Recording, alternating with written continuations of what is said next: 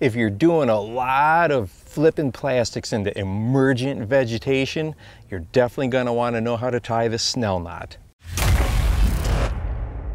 If you talk to anglers that spend a lot of time throwing their soft plastics into really thick, heavy, nasty stuff, the far vast majority of them are going to be using a snell knot, and it's got to be one of the quickest and easiest knots to tie. So here it is. I even brought some big rope and a big eyebolt here so you can see it really, really well first thing to take into consideration is make sure that you put the line into the eye from the direction of the hook, the point. So let's imagine that the hook is out like this, okay? I'm going to go ahead and bring that line in that particular side. Really, really, really important. The knot's not gonna work correctly if we don't do that. So if you do it wrong, you're easily gonna be able to tell, so don't worry. Go ahead and pull that line through and then put it down the shank of the hook.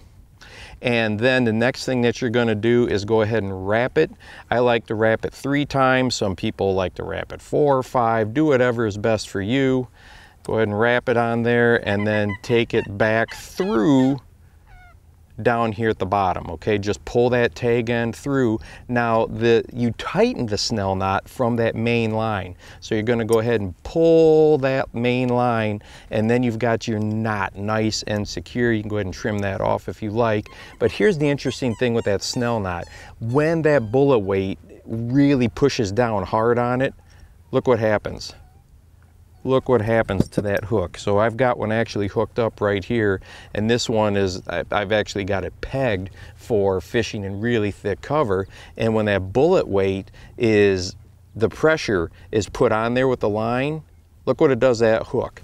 And that is just going to help ensure that that hook comes up inside and grabs the inside of that fish's mouth, which is also really important when you've got a worm weight pegged like that because sometimes that worm weight can be problematic if you have it pegged, but if you've got that snell knot, that's going to help ensure hookups. And as far as the number of times to twist it around,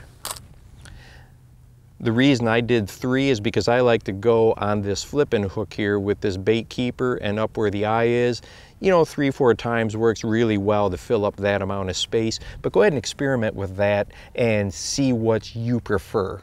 Well, I hope that Snell Knot video helps you out. Let me know if you have any questions or drop any comments down below. If you have some tips or suggestions for our viewers.